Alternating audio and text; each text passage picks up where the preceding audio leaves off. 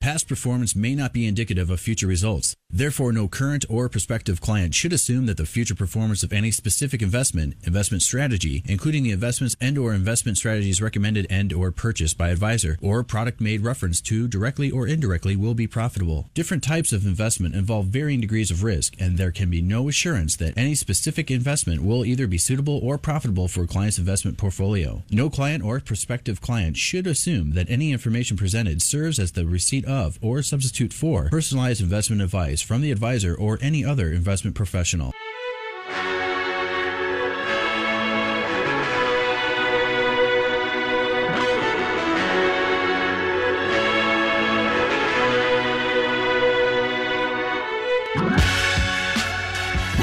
The Bullington Capital Report, hosted by Bill Bullington. For the next hour, you'll receive information on current market conditions and trends that could affect your financial future. If you have a question, you can participate in today's program by calling 216 901 0945. That's 216 901 WHK. You can also reach Bill by going to his website, bullingtoncapital.com. And now, here's Bill Bullington. Well, welcome back. The uh, nothing is as uh, constant as change. uh, wow, there's, there's been a lot of stuff going on. Really interesting that uh, the market's been so weak lately, and um, yet I'm seeing a lot of stocks coming up on scans, which are based on momentum, short-term momentum, and the list is fairly long. It, it you would never know by looking at this that the market is still off, you know, about 14% or so from it uh, from the high that it reached in January of 2022. So um, yeah, it's, sometimes you know looks can be deceiving. Uh, so am I really too concerned? Not really. Um, and we'll come back to this topic a little bit later. There were a lot of stocks that showed up on momentum scans that have pretty good valuations. So last part of today's show, I thought it would be good. Maybe we'll cover some of those, and uh, might be some opportunities there. Um, and I just want to you know, take a second here to talk about that. You know, I, I do some individual stocks in my own accounts, and I recommend if you really like it that you try to give it a shot. You know, the, uh, you might find out that you like it more than you thought you did, or what's going to happen is you're going to find out that yeah, you really don't really care too much, and that's fine. You still have to have stocks, and I think the the experience that you get would be a good thing. And I'm going to tell you point blank, 19 out of 20 people are going to find out that yeah, you know what, I I really don't like this, and that's fine. That that's actually what keeps people like me employed. Um, but you need to find out. You know, who knows? Maybe you'll be really good at it and you really like it. Um, maybe you'll not like it at all and do what I do with 80% of my money and put it into funds um, that are using these things called algorithms. That's just a fancy term for um, a formula. And uh, based on sales growth, profitability, size, that kind of thing, uh, stuff that really makes sense, and uh, you know having a a good strategy, knowing that the funds that you're investing in have been selected based on the strategies that they're running, not just the returns. Um, one of the reasons returns are important, but the best performing funds on any given a one or two year time period are going to be the ones that just took a ton of risk and and it paid it happened to pay off for them. And at some point in time, uh, that they take too much risk or they can't keep doing that and then the fund performs very poorly. And so that's kind of, uh, I see that quite often. And we're, we're also going to talk a little bit more about the uh, fixed indexed products. Those are annuities. I'm going to talk about that a little bit later. That's my, it's my favorite type. There are fixed annuities too. And the fixed annuities are generally not paying quite as much as the fixed indexed, but they're easier to understand and sometimes you can get them with uh, much shorter maturities. Uh, in, in other words, a much shorter time period where you could take all of the money out without being penalized. So that's kind of one of the advantages to a regular fixed annuity. Fixed indexed annuity is going to be somewhere between eight and ten years on average that you'd have to that you'd actually have to pay a penalty if you pulled out all the money. If you're just taking income or you can take up to 10% of the principal with most of them each year, then no problem. You're not going to pay any penalties. And uh, the penalties tend to go down over time, and at some point in time, you're not paying any penalty. So it's a uh, uh, yeah, it's a very I think a very competitive alternative because of the returns that they're willing to guarantee that they put onto a schedule. I think it's extremely competitive with what most people are, are going to be earning in their stock portfolios over the next five or ten years. Why am I saying that? Well, if you look at the portfolio value, I'm sorry, if you look at stock valuation from the biggest, most popular stocks, the ones that make up the vast majority of the S&P 500, they're not undervalued by any stretch of the imagination.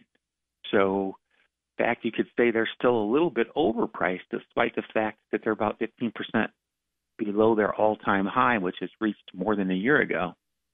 That does have a lot of people upset right now, by the way. And the reason that they're upset is because they didn't expect that to happen. You know, and, and I've always expected it, and probably one of the reasons that uh, I'm still working is I know the minute I retire, market's going to go down, stay down for probably four or five years. so I have to stay working so that it doesn't do it. I'm just kidding.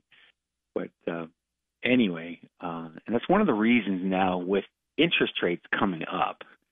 You know, I'm seeing uh, I there's a short-term bond fund that I really like. Mean, I like it a lot. I would give you the symbol on it. You're going to have to call me or hit me up with an email because we're just not allowed to do that anymore, and I don't want to take the risk. I mean, the disclaimers I'd have to use, and, and then I'd still be, uh, you know, I get audited a lot, and uh, we have to be very careful about what we say on the air, especially when you manage money yourself. Uh, so there's a fund. It's a short-term fund. It invests in mostly government securities. It'll do some super high-quality short-term bonds from uh, big company corporations, and uh, I really like that. It's my favorite fixed income fund. Uh, outside of that, I guess my second favorite would be just buying treasuries or buying CDs from banks that are all over the country. Now, this is really important. In fact, I, I have an article that I'm going to get to right after the first commercial break. I'm going to read the article. It's uh, about the Chase transaction with First Republic. You know, Chase bought First Republic Bank, and uh, the article is what customers need to know. Incidentally, this is one of the articles I sent out this week to my uh, newsletter subscribers.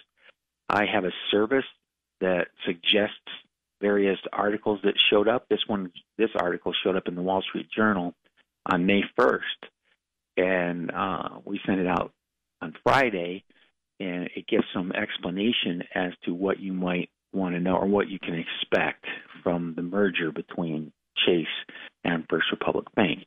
There's no cost to get that, by the way. Um, I, I probably have four or five hundred people that that get it. The vast majority of them are not even clients, and uh, and I'm going to tell you, if they've never asked me to call, uh, I haven't called them.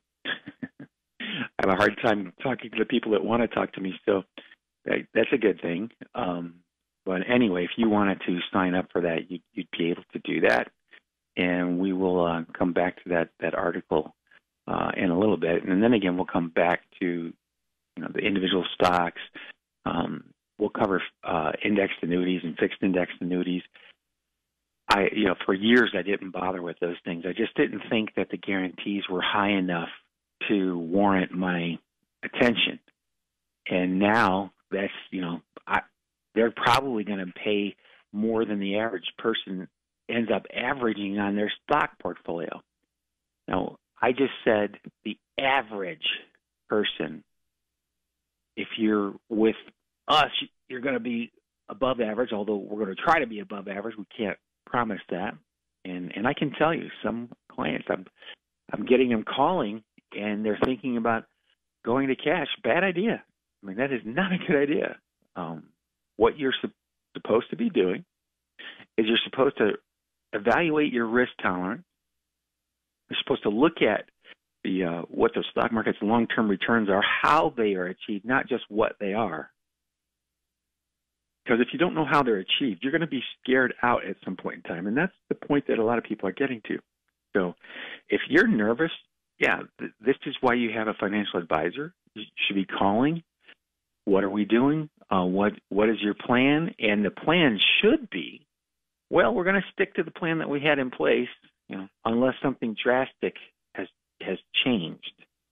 If if you're down more than we had anticipated, that might be something that you want to take a look at. Why is it down more than you had anticipated? Uh, if suddenly you uh, have a really big expense that you didn't expect, okay, those are legitimate reasons. But the market being down, not a legitimate reason. If you didn't know the market fluctuated a lot before you invested, you made a mistake. And your advisor made a mistake. You know, you should be all you advisors that are listening out there. I know you're out there. The, uh, you should be talking to your clients about this. You should be showing them how volatile the stock market can be. If you don't have the software, there's a company out there. It's called Telechart. The product's TC2000. Get it. Show it to them. It'll show you the S&P 500 going way here. I'll, actually, I'm going to try to find that. How far back does that actually go?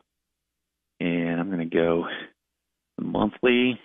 Okay, it goes back to 1960 now. That is uh, that is really cool.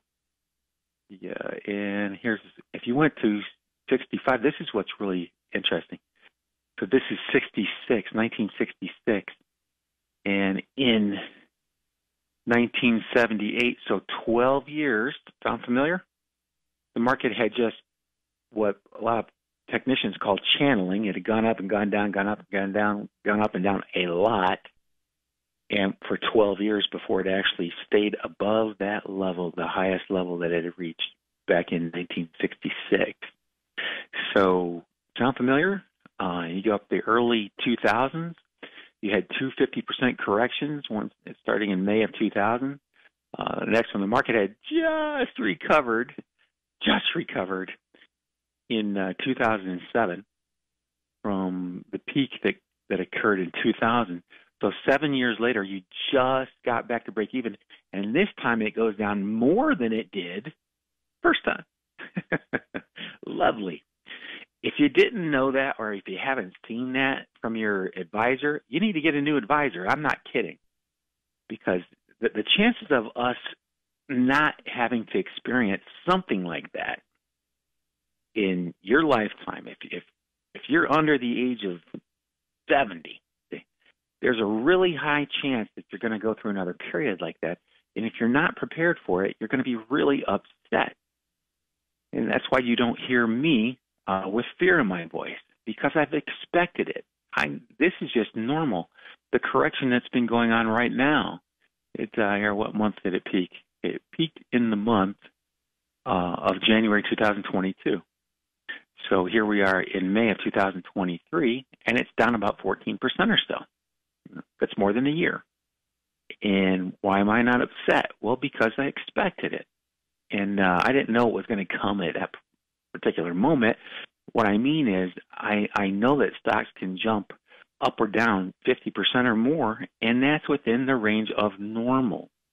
And I'm not willing to tell people anything differently. If you're going to be in the stock market, you've got to expect that.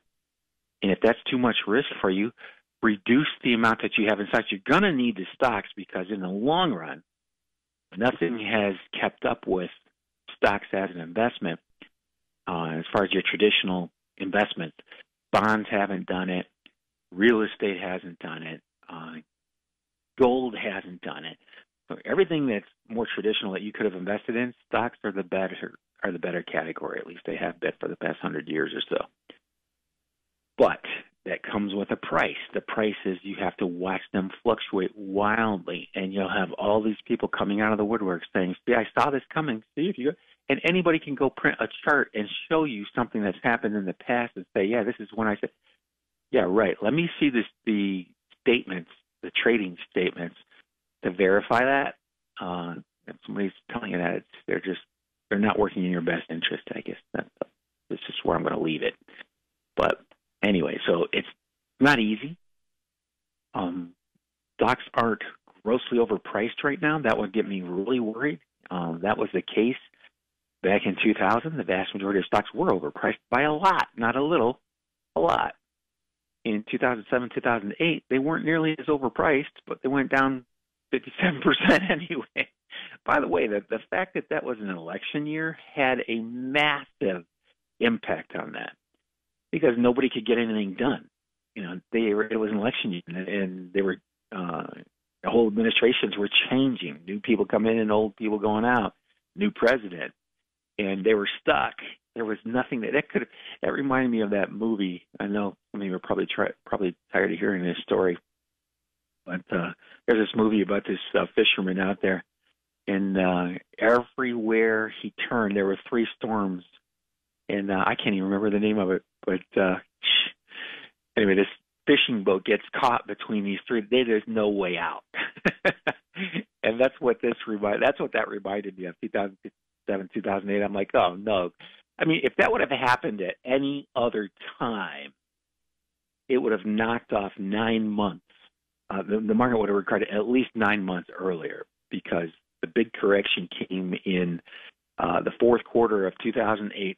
Started early in the fourth. Actually, it started in um, 2007 in mid and small caps and emerging markets.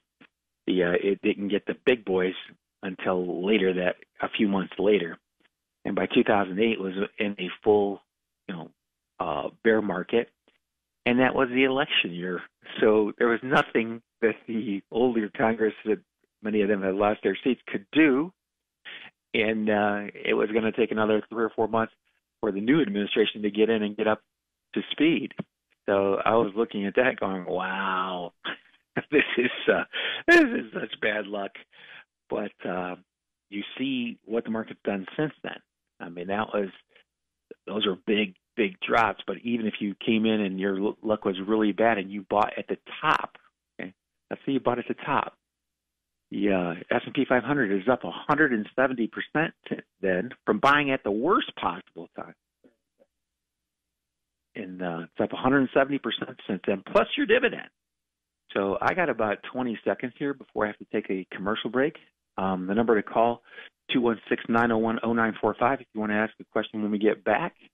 And this is Bill Bullington right here on 1420. I'll be back right after these messages.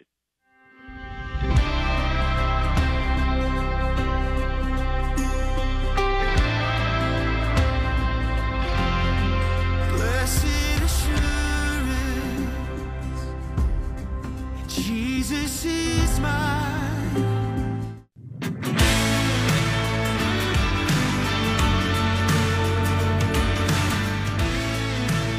Well, welcome back.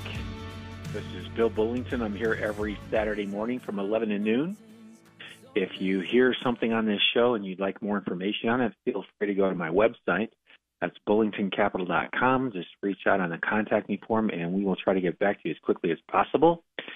And I have to apologize. We used this company who was purchased. They were the largest CRM, customer resource management software company in my industry, and they were sold. And the integration has not been as smooth as they would have liked, and certainly as as smooth as we would have liked. So I'm getting emails rejected, and I'm not finding out that they're getting rejected for three or four days. So you may just want to call at 330-664-0700. That number again, 330-664-0700. And uh, boy, I'll tell you, um, this right around the pandemic is when this merger went through. So you got that going for you. You're working with a, a skeleton crew to begin with, and then you're integrating two of the largest companies in my in an industry that's huge and it's been rough. Uh, that's all I have to say. It's just been rough. So um, uh, it is improving, you know, slowly but surely. But uh, anyway, so w- one other thing, we were talking a little bit about stocks. I'll come back to that a little bit later. We were also talking about uh, the um, indexed annuities, and you know, when you look at the stock market's returns in the long run, you look at where valuations are I, I really feel like the stock market's going to have a tough time keeping up. It can, And there's particularly, I think, if you're invested in healthcare, uh, technology, uh, healthcare's gotten beat up pretty good this past couple of years, which is a good sign uh, for me anyway. That's for the buy low, sell high people. The uh, uh, population's aging, healthcare costs are rising faster than the overall rate of inflation, and those are the revenues that healthcare organizations are generating. And they've come out with some amazing stuff. Some of it because they had to, because we had the pandemic, and we're still dealing with that. But then they, you know, all the other pro- uh, problems that come along with aging, and when uh, the fastest growing segment of your population is 60 and over, the uh, that's actually kind of a good place to be if you provide um, medical services or products. So, you know, I think overweighting that's probably a pretty good idea. If you don't want to do those things, that's no problem. When we sit down with someone, I'm going to try to figure out what the best portfolio is for you. And all of our portfolios look uh, a little bit similar, but I don't have two that are identical. I mean, none. And that's one of the advantages I think of of being a smaller advisor. I can listen and I can customize the portfolios to what somebody's actually looking for, what they want to do, and what kind of risk that they want to take. And this past uh, couple of years, people don't realize it, but uh, the fund fund that I've been uh, using, I think is it's uh, you know it's in the top four or five percent of its group, and uh, I can't promise that. Uh, can't talk about the specific returns. Can't give you the symbol unless you call in and we're, we have a scheduled meeting, and I, I have to get you a whole bunch of other information. But it's a uh, you know makes it it can make a difference, and uh, having the flexibility I think is really important, um, especially today. Man, it's just uh, it's tough. I, I I do think we're past the toughest part. Why am I saying that? Well, because interest rates are a lot higher than they were two or three years ago. That was rough. You're looking at the best performing um, fixed income investments out there paying less than 1%. That's rough. That takes a lot out of your total return. Fortunately, it's not like that today. You've got a lot of options that are significantly better than that. And uh, again, you know, I come back to these uh, fixed indexed annuity. The rates that they're guaranteeing are higher, if you believe Dalbar or not. Uh, they're, they're higher than what people have averaged in their stock portfolios over the last 20 years. Now, that, that's amazing. And the uh, it's a guaranteed number. It's a floor, and everybody will always point. The people that I I know, uh, well, some of the people I've heard in the industry that that sell these things, um, typically are looking at the potential for growth, and they emphasize that a lot. Uh, but you also have some guarantees, and and I'm going to tell you that the potential for growth is very limited. The chances of you outperforming the, the guaranteed portion uh, are pretty remote. And uh, I'm just going to leave it at that. So I don't like to emphasize that. What I'm really looking for is okay, worst case, worst case scenario, what are you guaranteeing me? That's what I'm interested in. Because I'm replacing fixed income. I'm not replacing stocks with this. There's no way this is going to keep up to the stock market over the next 20 years, and that's Bill Bullington's opinion. That's not written down anywhere, and it's not a law or a rule. Uh, but I just can't imagine uh, annuities outperforming stocks over the next 20 years. Over the next five or 10, yeah, I could see that.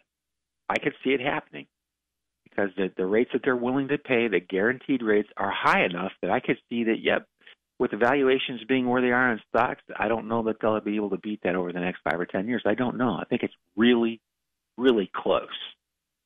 And when you call in uh, to find out what the current rates are, you'll find out why the, uh, and why I'm saying that. And I don't have enough time really to go through that today. Maybe I'll come back to that subject um, next week. But anyway, another thing I wanted to uh, let people know is that there's a uh, one of the companies that we deal with uh, provides a, a, software package that makes the financial planning process pretty simple and I really like that. I, I'm a minimalist. Uh, don't fill my head with a whole bunch of stuff that I really don't need to know. Unfortunately, in my industry, there's a lot of stuff that you really do mm-hmm. need to know. But I would say out of the material that you hear or see, the stuff that I get in my email, maybe one out of 10 that you actually need to know. So you have to weed through a lot of crap. And I, I know I feel so bad for people that don't do this for a living because I'll be reading something and after five minutes I'm like, oh, okay. They they go to a certain point and I recognize, yeah, this is not what not that important so I can delete that.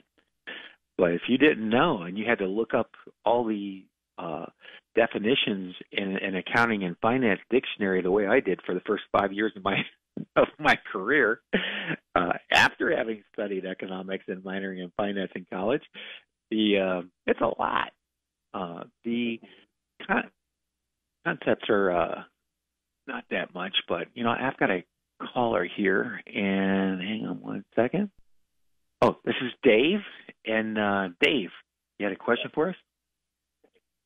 Yeah, I have a question for you on uh, regional banks. Uh, I was wondering what your view is on. Um, of course, they've been cut in half, so the dividend yields are real high now, real real lucrative. I was wondering if if you think they'll cut them either because they have to or they'll just normalize them.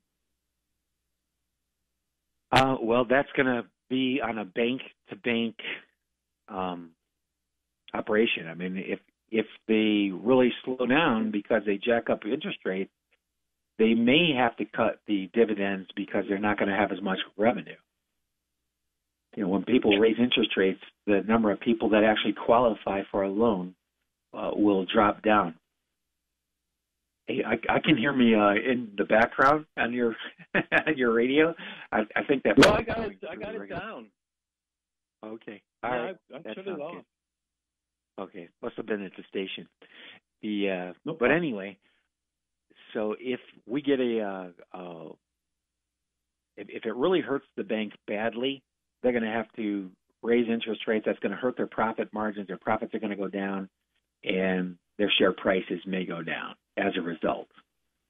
But you know what? Your guess is about as good as anybody's.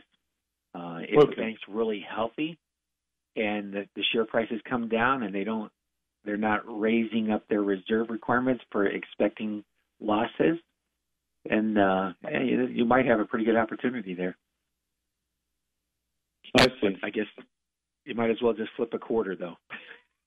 That's what that's basically the amount of information they've given us so far. You know it, more information will be coming out on it but,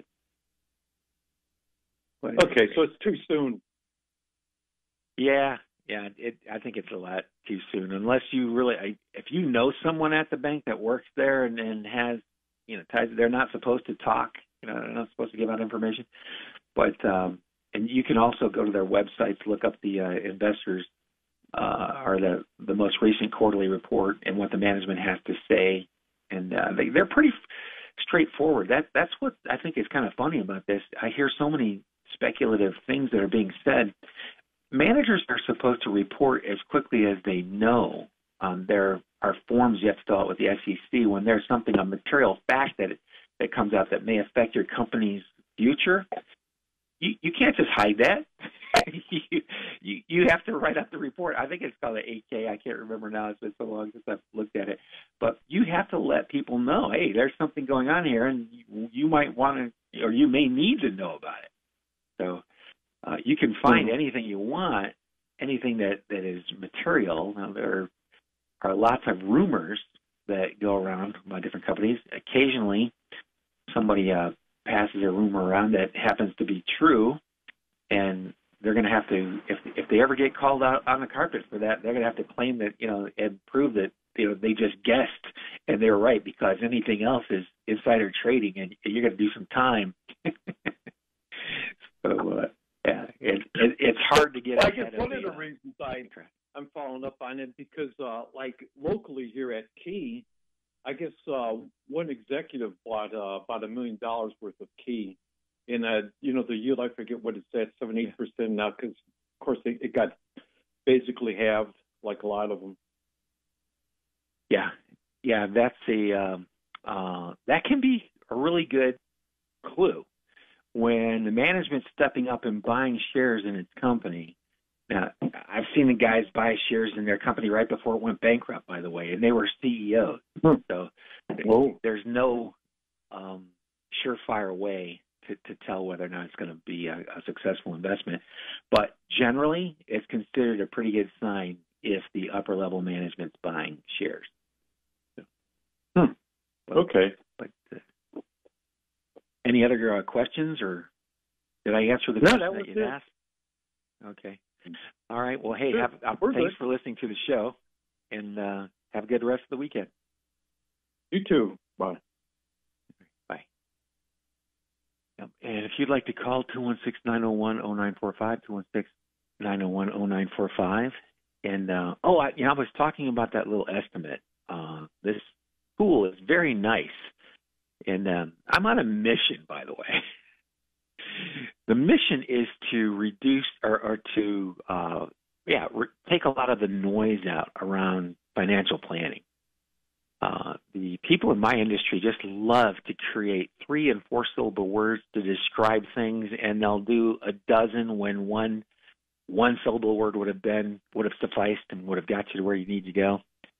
And, uh, and I know people think I talk like that a lot, and I probably do, but uh, uh, reality is I'm going to make it a huge point of contention to try to get this information out as simply as possible. And let me give an example. So I was looking at today the uh, I've got a client coming up, wants to retire, uh, wants to know, hey, do I have enough income? I made pretty decent income, got about half a million bucks, gonna get a pension, get Social Security, but um, what do I do? What do they do with that? I'm gonna get about twenty five thousand Social Security and uh, another twenty five thousand pension. Got about fifty thousand dollars coming in just in Social Security and pension, and they uh, they're moderate. They don't want to take a ton of risk. They got half a million bucks. So what what could they expect to be able to spend in addition to that fifty thousand dollars that they're going to have in uh, retirement income? And the the uh, oh my computer just went down. That's lovely. oh, here we go. Coming back up. So, a sustainable income for them, in addition to the fifty thousand dollars they'll have from Social Security and pension, uh, would be about eighty thousand dollars, including the uh, income that they could take from their portfolio that was uh, invested moderately, basically fifty percent stocks, fifty percent bonds. So that number, that thirty thousand bucks, is going to come out of the half a million dollars they have, and that should last them a lifetime if they uh, live to normal life expectancy. Actually, if they live to longer than normal life expectancy. And so I have this tool. That's where I got these numbers, and it, you put your age in there, your income, and uh, how much you have in savings. It'll tell you what a sustainable income level is. And realistically, you're done. That that's all you need to know. Uh, well, I, I shouldn't say that's all you need to know. What you really need to know is can you live on eighty thousand dollars? Is eighty thousand dollars a livable wage uh, for you? And if not, know, you've got a couple choices. You can try to take more risk. I wouldn't recommend that. You could uh, pick up some part-time work. You know that that can be a great idea. And I've known people who got up to retirement age said, you know, I'm I'm not ready to retire, but I don't like my current job. I think I'm going to go get another job. And uh, and then they started investing in real estate, uh, which some people had always wanted to do, and they they end up uh, loving it and doing very well. And they didn't really have to do it. I think that's a big part of it.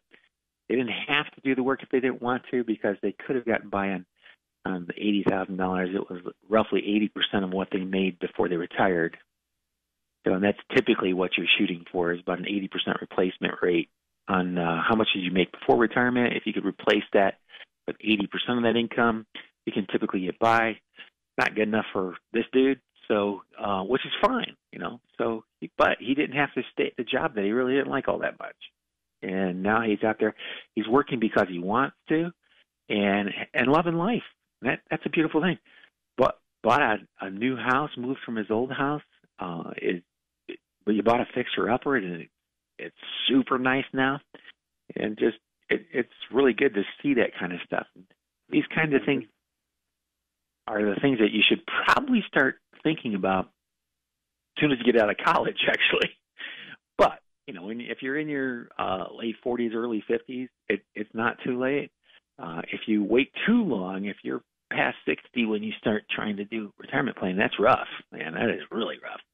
But I think I only have a couple minutes until I have to take a commercial break here, so I'm just going to plug my website one more time. It's uh, bullingtoncapital.com. And uh, my name is Bill Bullington. I'm here, I'm here every Saturday morning, 11 to noon. If you'd like to see a projection for yourself, uh, like the one that I just did with this software package, it's pretty cool. It actually comes from a uh, the world's largest asset manager, so you figure they must know a thing or two about investment planning. and uh, uh, anyway, yeah, you can go to my website, bullingtoncapital.com. You can call us that's probably the best way, by the way, is just calling.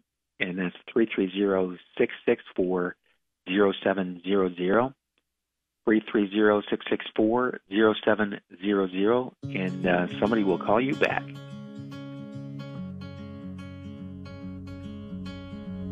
I've been wandering through the desert. Ain't seen a cloud in forever over or visit joycefactorydirect.com.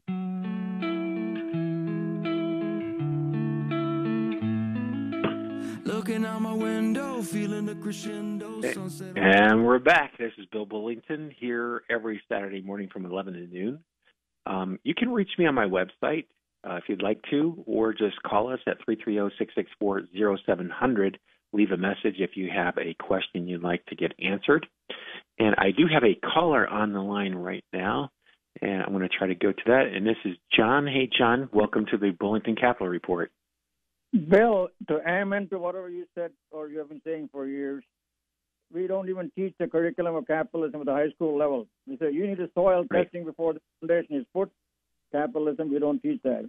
And when you said about right. all the sound, I'd like to add a little extra homework besides your Saturday program, and that is Warren Buffett, once a year, he has a wonderful annual conference at Omaha, Nebraska. And I right. think the guys the age, get them addicted to that program. How noiselessly he tells the people what he is achieving as a group. Yeah. And top down, no, it's the well, so much decentralization. Power doesn't have to be at the top. You know?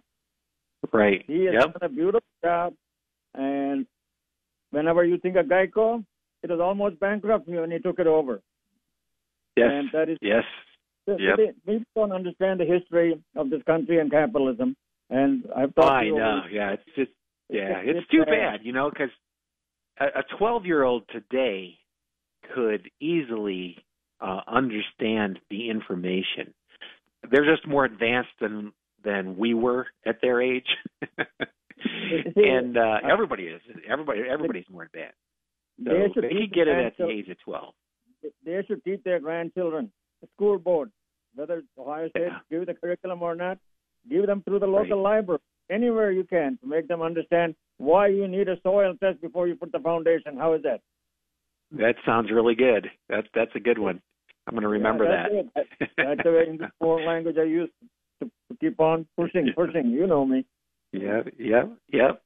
Well, hey, thanks for calling, That's that's a good idea, and I'll remember to to try to start to uh, talk about that. I did go in uh, once. I uh, have a client who retired as a school teacher, and uh, she had me come into her class, and uh, it was really fun. The kids liked it a lot, and uh, I think they, I hope they got a lot out of it. I know when I was 12, I had a paper route, and so I we had to pay for the papers whether the client whether our customers paid for them or not. Can you imagine that? Twelve year old kid. Yeah, you got to pay for the paper when the guy moves out uh, of the apartment building that you were delivering his paper to and doesn't pay you. You got to pay for that out of your pocket.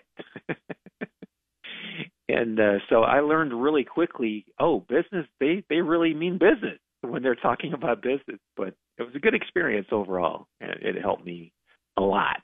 understand businesses. But uh, by the way, uh, Warren Buffett had the largest paper route in Omaha. He delivered more papers than any other kid. He was actually hiring other kids to deliver the papers, and he was taking an override when he was 12 years old. I don't know if that's actually true, but that was in his authorized biography. So I just imagine it's probably true. But any rate, um, yeah, I've got about uh, oh maybe 10 more minutes, and I was just talking about you know stocks. I think if if you're looking out over the next 10 years, I think you're fine. Uh, if you're looking out over the next two or three, toss a quarter. Whether or not they're going to be higher than they are now, um, toss a quarter because they're not super undervalued right now. If you're going to be taking income within the next five years, I would definitely be looking at the uh, indexed annuities. I'm just looking at the air, somebody that was 67. Okay, that's the full Social Security age right now. And by the time I get there, it's probably going to be 72. I don't know. The uh, but anyway, full Social Security age. For every hundred thousand dollars that that you put in, uh, you got to wait 12 months to start taking this. By the way, uh, the the guaranteed income today is seven thousand one hundred fifty-four dollars for somebody who is 67 when they start taking the income. That's pretty good. Mean, that's actually higher. This this is the one reason I started talking about these, and it's so funny because my stock investors that have been listening to the show for a year thought that I had turned on them. I'm like, no, I haven't turned on you guys. Uh, stocks are still an important part of everybody's portfolio, but not everybody has enough money to take the kind of risk that they would have to take to generate that type of return out of the stock market.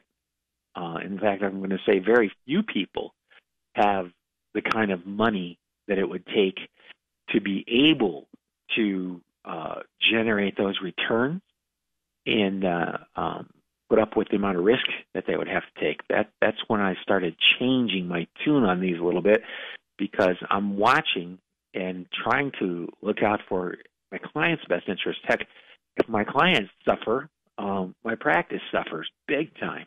Now you hurt, so do I. Yeah, that, that's the way I think all businesses should be. And uh, so anyway, I just thought, you know, you can put hundred thousand bucks in here. They're going to give you seventy one hundred fifty dollars. That's if you're sixty seven next year, so you'd be sixty six this year when you actually put it in. And then each year, if you didn't really need it, the next year it would go up to seventy eight hundred and twenty four dollars. If you still didn't need it, you could put it off, and the next year the, the guaranteed lifetime income's eighty five hundred forty one dollars, and it goes up like that. The schedule goes up for ten years. So it's a uh, it's really tough to beat. I mean, really tough. And and I know the Facebook ads and these other guys that are out there telling you, oh, no, you can. He doesn't know what he's talking about. You could, yeah, right. That I was looking at some of that stuff over the weekend too because I had to upgrade a software package that I've been using for a long time, and I saw these ads from some people, and just like, you got to be kidding. Yeah, it, it's rough. I mean, it is rough out there because they, you know, they tell you what they want to hear, and I was in that category. Um, way back when I was really young, I spent an enormous amount of money on stuff that just didn't work. And the bottom line is, stocks can move in one of three directions: up, down, and sideways. And uh, in the long run, a company's value has a tendency to keep up with its growth in sales and its profit. In the short run, the, the share prices go all over the place based on what the current perception is. And it's the perception of the fund buyers, not the individual investors, because individual investors make up a super small percentage of the number of trades that go through every day. It's funds that are out there. And uh, I don't have an, enough time to, to go into that. And that's probably what I'm going to talk about next week. How, these funds, how are they picking the stocks that go in the fund? Because if you can name a strategy out there, good, bad, or indifferent, there's a fund that's doing it. I'm telling you, there are more funds than there are stocks, and uh, so it, that's one of the reasons it, it's gotten so much more difficult to outperform uh, stock market indexes. Is because there are fewer stocks now than there are funds for them to invest in. Or, or yeah, so that that's changed the dynamic a little bit but it, it doesn't mean you shouldn't try. Uh, and by the way, there's nothing wrong with indexing. I, most of the funds I use are some form of, of an index fund, and they're in there for a reason. Uh, there are certain factors that do have a tendency to matter in the long run. The biggest factor, by the way, is sales. And when I say that, an awful lot of people who don't do this for a living think, "Oh, well, I just have to find the ones that whose sales are going up the fastest." Well, no, not really. Uh, that's a big factor, but it's not the only factor. There's a uh, factor in there called value that's actually going to matter at some point in time, and profitability. That's going to matter. Sales uh, growth is one thing, profitability number two. Uh, in the long run, those two factors have a tendency to make a big difference in how the fund is going to perform. And a lot of them have done really, really well over the years that, that use those two factors as it, they're in the top three or four of the factors that they use completely. And so I think it's a, uh, a good idea to know that uh, when you're looking at just. See, that's that's my that's my issue with the S&P 500.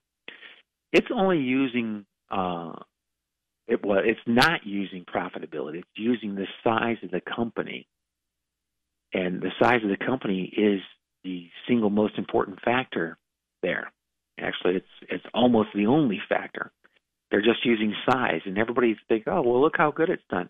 Yeah, it had a negative return for 13 years, from 2000 to 2013. That's that's good. Okay, I'll take a lower return that's more consistent than that because you're going to need that when you get closer to retirement. And who wants to go through that anyway?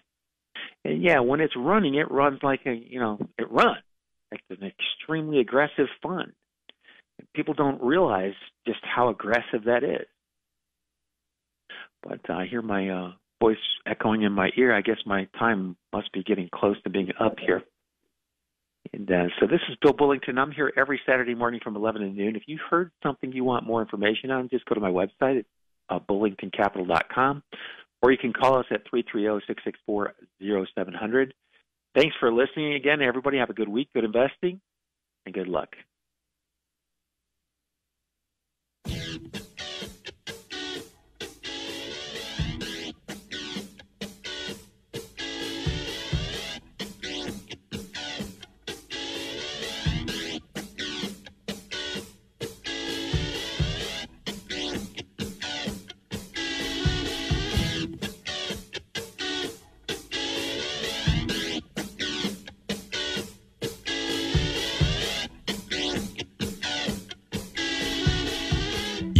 Caught another edition of the Bullington Capital Report, broadcasting every Saturday at 11 a.m. on AM 1420. The answer.